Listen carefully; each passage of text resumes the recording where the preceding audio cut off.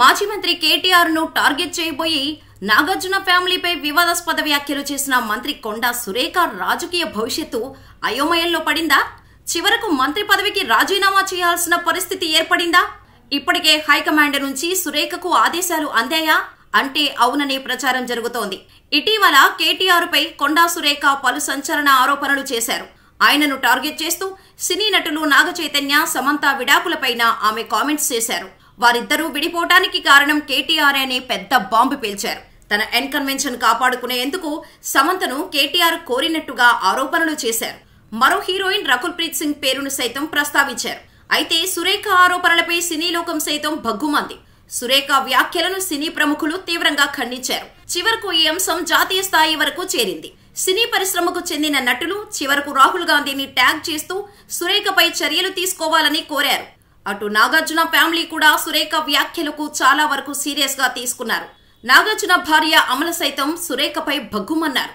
నాగార్జున సైతం సురేఖపై పరువు నష్టం దావా వేశారు. నోటీసులు పంపించారు. కొండా సురేఖ వ్యాఖ్యలతో తమ ఫ్యామిలీ ఇమేజ్ను డ్యామేజ్ జరిగిందని కోర్టు దృష్టికి తీసుకెళ్ళారు.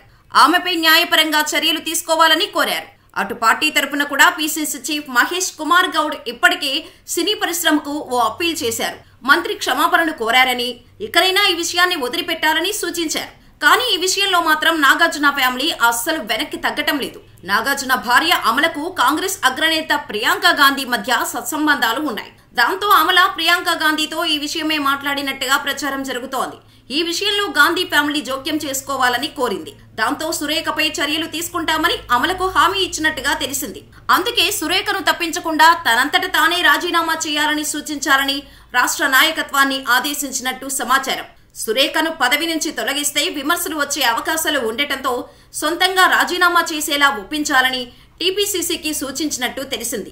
ఇప్పటికే సురేఖ తన వ్యాఖ్యలను వెనక్కి తీసుకున్నట్టుగా టీపీసీసీ హైకమాండ్ దృష్టికి తీసుకెళ్ళినా అక్కడి నాయకత్వం ససైమిరా అన్నట్టు సమాచారం. సురేఖపై చర్యలు తీసుకోవాల్సిందేనని ఆదేశాలు జారీ చేసినట్టు ప్రచారం జరుగుతోంది. ఈ ఒకటి రెండు రోజుల్లోనే పార్టీ పెద్దలు ఆమెతో రాజీనామా చేయించే అవకాశాలు ఉన్నట్టుగా తెలుస్తోంది.